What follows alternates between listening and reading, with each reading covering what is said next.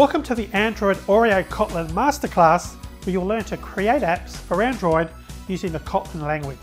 So my name is Tim Buchalka and I'm your instructor in this course along with my co-instructor Jean Paul Roberts. Now I've been a professional software developer and teacher for well over 30 years and uh, I've also got around 200,000 students in my various online programming courses.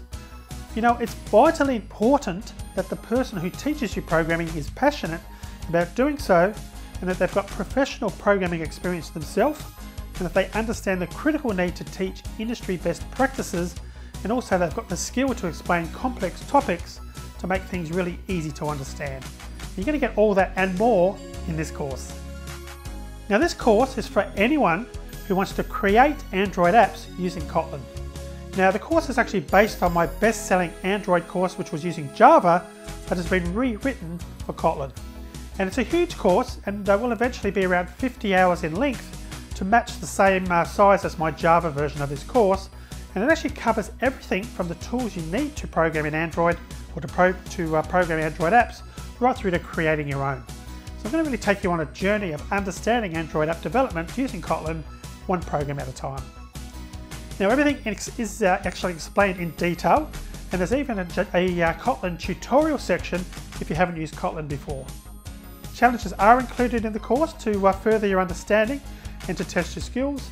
And uh, not only do I keep the course updated, but questions relating to the content of this course are answered promptly as well. So by the end of the course, you'll have a solid understanding of Android app development using Kotlin and you'll be ready to apply for Android app development programming positions or take on freelance jobs. So the ideal student for this course is someone who wants to learn how to create Android apps.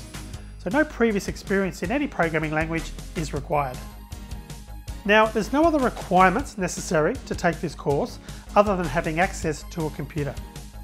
And uh, if you're looking to get your first or a better programming job or to freelance as a software developer, then this course will definitely help you.